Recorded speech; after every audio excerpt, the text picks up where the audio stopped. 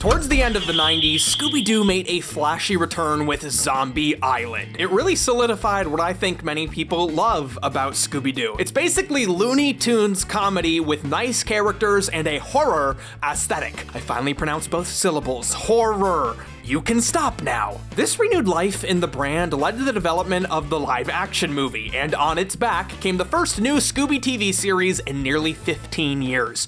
What's new? Scooby-Doo.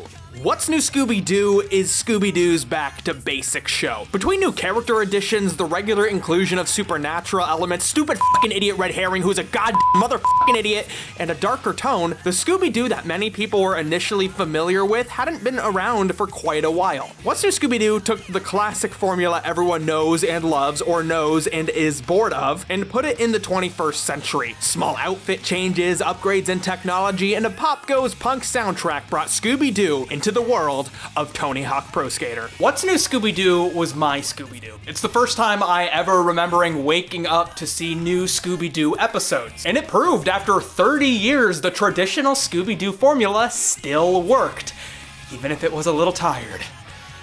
I'm really tired. But you know, the wheel has worked for thousands and thousands of years. Scooby-Doo can too.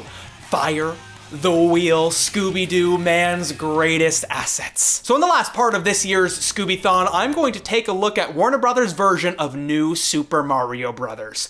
And, uh, jeepers, uh, I'm from Florida, so I really don't know how to tie a scarf. I really hope I did it well. Before we continue, today's video is sponsored by Surfshark VPN. Using the internet without a VPN in 2019 is not a very smart move. In fact, it's a very silly move, and you wouldn't want to be perceived as silly, would you?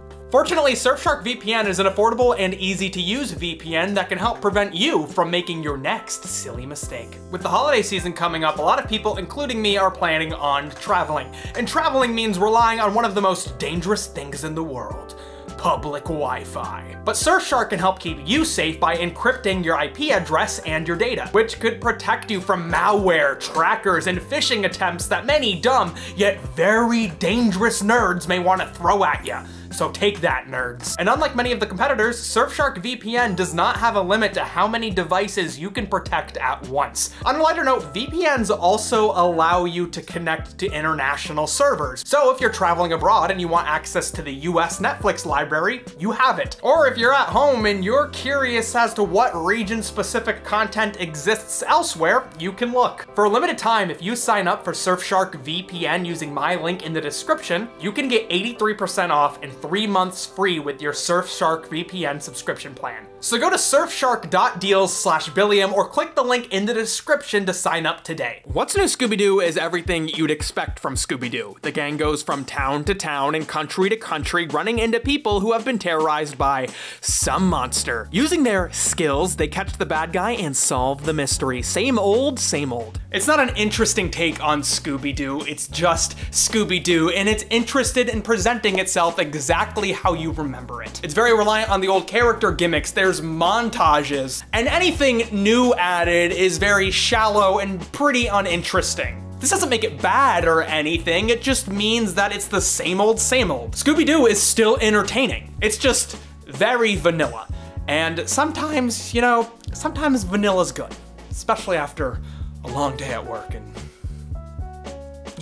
Bringing Scooby-Doo into the 21st century also meant a new look for the characters. Hmm, would anyone really wear something this hideous? This really is a mystery. Fred's ascot is gone, Daphne is looking a little different, Velma is largely unchanged, and Shaggy's new sandals is making me come to terms with the fact that he probably smells really, really bad. I love it when they update the character designs. There's a time and place for the originals, but I don't mind when they do new things. There's so many iterations of Scooby-Doo to care about how any one of them changed it up. However, I hate Fred's outfit. There's too many blue stripes. It really needs the orange to break it up. But aside from the small aesthetic changes, the show is largely what you'd expect. However, it does lean into the characters' social standings a bit more to create new jokes. Fred is now full dumb jock. He has trouble pronouncing foreign words, just like me, and he's always going around bragging how much he bench presses.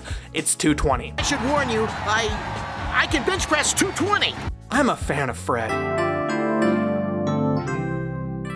Daphne's fashion sense now makes her super crafty like a MacGyver. Velma is now an inventor, and Scooby and Shaggy are largely unchanged, aside from the fact that Shaggy is now a vegetarian, at the request of his original voice actor, radio host Casey Kasem, who now returns to the character. I really like this take on the characters. While they're not necessarily interesting or creative in a narrative sense, I really enjoy their dynamic. It does a really good job of updating the characters in an unrisky, non-controversial way. They're portrayed as friends in a really nice way. They live together, they reminisce, and many episodes start with them on vacation before they discover the mystery. Meaning they're just hanging out and on vacation together. They don't just share this weird hobby in common, they're friends, and I love it. It's the characters as you may remember them, but not necessarily how they were. I mean, Fred and Daphne are actually fun and entertaining, so that's a plus. While Scooby-Doo is clearly a property meant for kids, I feel like What's New is the first time it's been marketed to appeal to a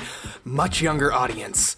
I mean, with shows like this, a huge driving factor is toy sales, and historically, many shows that have had a heavier reliance on plot or a darker tone have not done well. Furthermore, DVD sales are a huge aspect to Scooby-Doo, and it's much easier to sell a bunch of random episodes on a disc rather than individual volumes. While the basic elements of Scooby-Doo are the same, the biggest change is the lack of the horror aesthetic. What's New Scooby-Doo is bright and colorful, it's way too saturated, just like many early digitally colored Warner Brothers shows were. Even when the setting is lit darkly, the characters are bright. It's literally the opposite of old Scooby-Doo, which is always dark, even in the middle of the day. Also, I hate the hue they use for the character's skin. It's this weird yellowish or greenish quality. I, I can't stop fixating on it. It's not present with all the characters either, pretty much just the main cast. I never realized how much Scooby-Doo's appeal is reliant on its ass aesthetic. It's what balances the show and makes it something cool, aside from the bright aesthetic. The show also leans into the logic of a cartoon world a little too much. I mean, Scooby-Doo is a talking dog. I'm certainly not sitting here judging and nitpicking small lapses in the show's internal logic, but rather the show's holistic logic. This is really hard to describe. I feel like humor based on a cartoon's logic works when it's juxtaposed to something that more closely resembles our world's logic.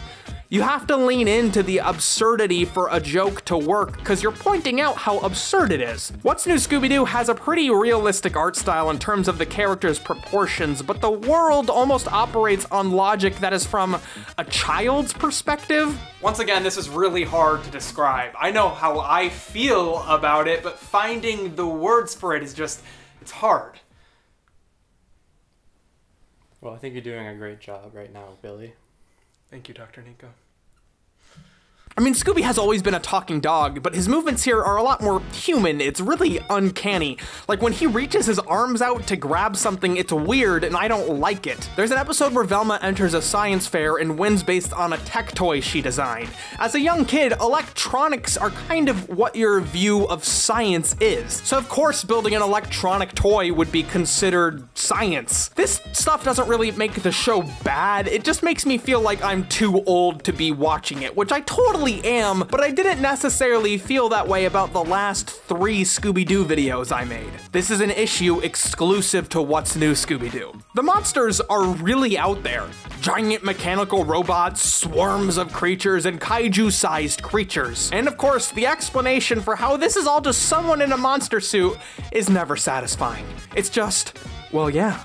I love going all out with the monsters, but unlike Mystery Incorporated, they don't lean into the absurdity, they just expect you to accept it at face value, never questioning it.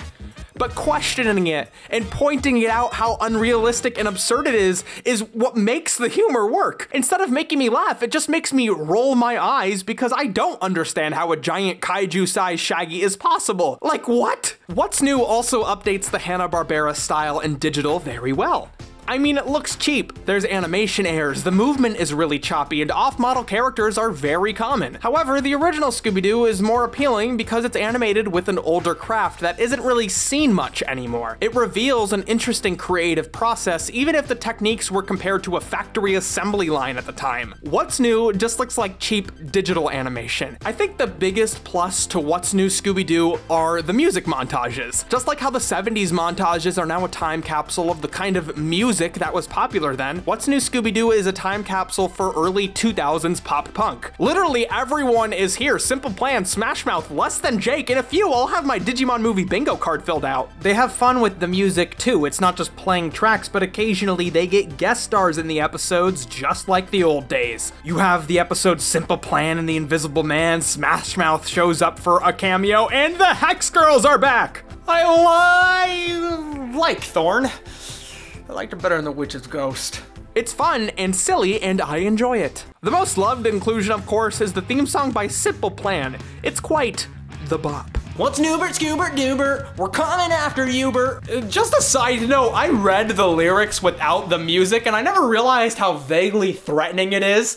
What's new, Scooby Doo? We're coming after you. We're gonna solve that mystery. I see you, Scooby Doo. The trail leads back to you. The show is definitely not bad. It's just not my favorite Scooby Doo show for a plethora of reasons. But there are some really good episodes. All three holiday episodes are really fun, especially the Christmas one. The baseball zombie episode has a really fun twist at the end. There's an origin story episode for the Mystery Machine. And my personal favorite, the mini golf episode, where you find out Shaggy is a national champion mini golfer. It's great. Of course, What's New Scooby Doo also brought with it a whole barrage of new straight to video movies. After Cyber Chase, the art style for all of Scooby Doo's movies were based on What's New Scooby Doo. And originally, I was going to save these for another year, but they're so similar to What's New Scooby Doo, I don't know what I'd say about them that I didn't say in this video. Maybe I'll revisit them more at some point in order to give deeper thoughts on them, but for the most part, they're the same stuff you get in the show with a slightly better budget. I know many of you probably hold these movies close to your heart, and that's great. I love that. I didn't really grow up with many of these. I saw them a few times, maybe, but I'm not as intimately familiar as many of you are, maybe. If you owned this as a kid on VHS or DVD, odds are you watched it dozens of times, and it's not very realistic for me to gain that kind of intimacy with the movies. I don't think intimacy was the right word for that. Maybe familiarity. Familiar er, familiarity. Familiar. ugh. However, if you want to revisit them, I strongly recommend seeing the first three. Scooby-Doo and the Legend of the Vampire and The Monster of Mexico are both throwback movies, reuniting the whole original cast sans Don Messick. It also remixes a lot of the old music tracks for Max nostalgia's sake. Scooby-Doo and the Loch Ness Monster, on the other hand, has really, really good production value. It shows these character models can work really well with better animation and, oh my god, environmental lighting. It's actually a pretty nice looking movie, and although it doesn't quite reach the level of the earlier films, it's a nice watch. What's New Scooby Doo is not necessarily a bad show. Most of the episodes are at least enjoyable, and the absurdity of some of the jokes are sometimes really funny. But I would not recommend you to watch the whole series like I did. It's Scooby Doo exactly how you remember it. All of your favorite jokes are there, but also it's still the same tired formula. But you know what? That's not necessarily a bad thing. Sometimes you want vanilla ice cream. It's comforting to eat vanilla ice cream. But you can't just eat vanilla all the time. Sometimes you want to change it up. And for how Scooby Doo can change it up, well, we're gonna have to wait to find out how until next year.